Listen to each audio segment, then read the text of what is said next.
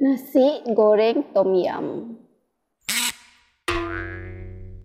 Okey, ni bahan yang diperlukan untuk masak nasi goreng tom yum. Isi ayam, udang, nasi sejuk, daun limau purut, 3 biji cili padi, lobak merah, setengah biji bawang besar, satu ulai bawang putih, satu batang serai dan last sekali sos tiram dan perencah tom yum. Okey, mula-mula sekali kita panaskan minyak, lepas tu kita tumislah bawang merah dengan bawang putih. Lepas tu masukkan cili padi, kacau, masukkan serai.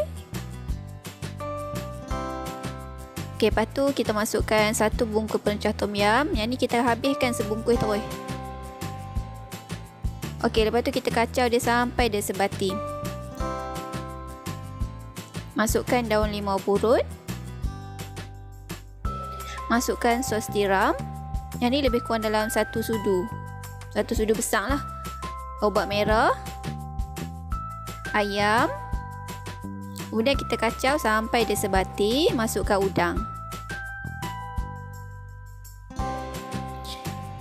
Okey, lepas tu kita masukkan sedikit garam. Yang ni kalau uh, tak masin lah eh. Kalau dah masin tak payah tambah.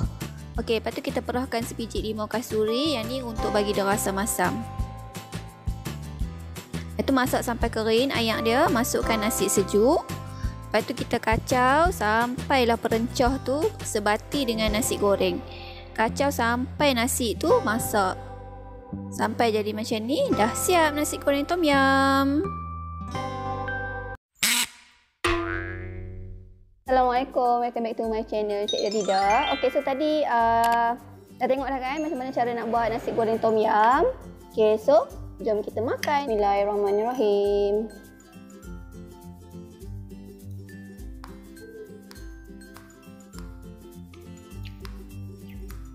Rasa macam nasi tom yum kedai.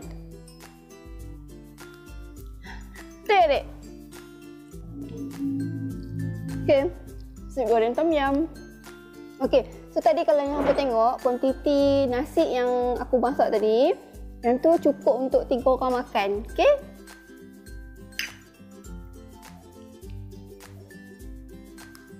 Okay.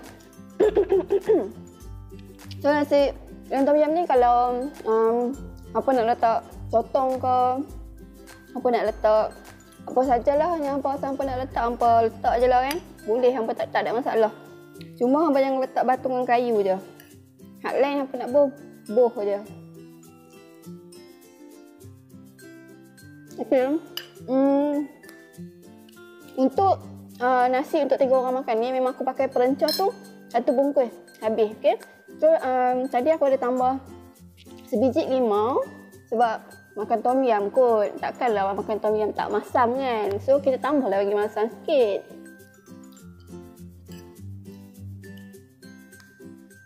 Senang je kan nak buat nasi goreng tom yum kan. Hmm, lepas ni tak payah dah nak pergi beli nasi goreng tom yum kat kedai. Dah boleh masak sendiri dah.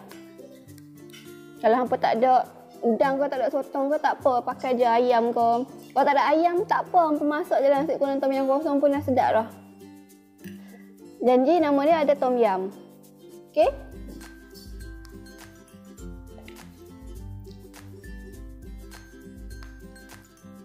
Okey, so aku nak habiskan nasi goreng tom yum aku ni. So, selamat mencuba resipi yang sangat-sangat simple ni, nasi goreng tom yum. Hmm, InsyaAllah jumpa lagi untuk next video. Jangan lupa untuk subscribe, like, komen dan share video ni. Dan bye. Assalamualaikum.